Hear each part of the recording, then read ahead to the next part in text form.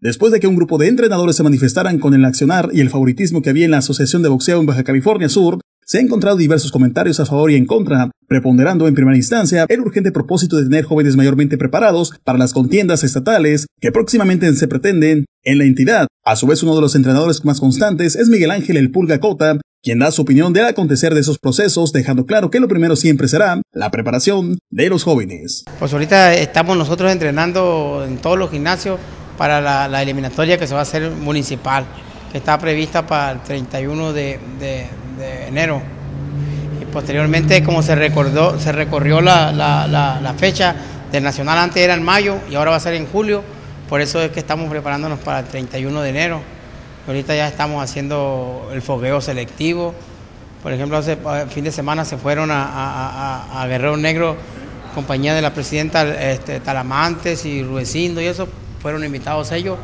Este, nosotros hicimos un triangular ahí en el, en el Nuevo Sol, el Nuevo Sol, profesor Salas, y, el, el, pentatlón por, por José, este, eh, por este muchacho Sumaya, Juan Sumaya y Miguel Ángel Cota, un triangular, hicimos ahí un total de 10 peleas y, este, estamos fogueándonos. en el esquema ya directamente de la asociación, ¿se está tomando en cuenta? ¿Crees que hay algún favoritismo? ¿Cómo lo consideras tú eh, como parte de esta comunidad de boxeo? Porque ha habido inconvenientes y ha habido eh, ya situaciones que están molestando a, todos los boxeadores donde no se les está tomando en cuenta como municipio. ¿Tú qué opinas al respecto? Porque el ligero que llevan ellos, el peso ligero no ha peleado.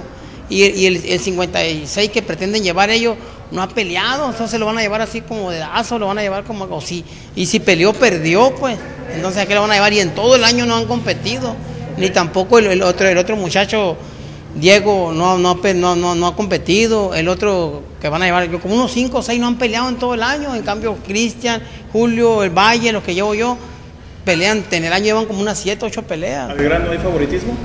Pues no, no, no, es que sea favoritismo, pues sí, sí puede decirse así, pero yo no, no, me gusta decir así que favoritismo, sino es que se están ganando su lugar, pero sin pelear ¿cómo? Finalmente, la polémica que se ha generalizado en la Asociación de Boxeo del Estado es el propio Ramiro Reducino Radilla, como vocal medallista de la asociación, quien invita a los afiliados a exponer sus molestias ante el organismo para solucionar la situación en donde existía alguna inconformidad. A su vez, indica que la mecánica con la que se trabaja es regular a todos los clubes a través de sus comités y señala que la asociación viene trabajando para lo más importante en la enmienda y eso es tener jóvenes destacados. Yo considero que son parte de, un conflicto, vaya, de ellos propios, porque la gente que quiere trabajar están, están, le hemos dado convocatoria, eso hay oficio recibido ante ellos donde se les, se les, se les invita a hacer las cosas como debe de ser que no quieren eh, formar eh, parte de este proyecto, no veo por qué no, al contrario, no lo veo, yo no lo veo encauzar otras, otras actividades que, que haya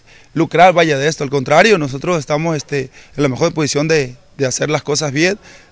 Pues nos vamos, ahora sí como que dicen, nosotros nos, vamos a tener de lo, de lo que pueda pasar, porque anteriormente se había manejado que ellas, había personas aquí en La Paz, entrenadores, que hacían, hacían peleas clandestinas sin estar enterada la presidenta de la asociación ni el presidente del comité.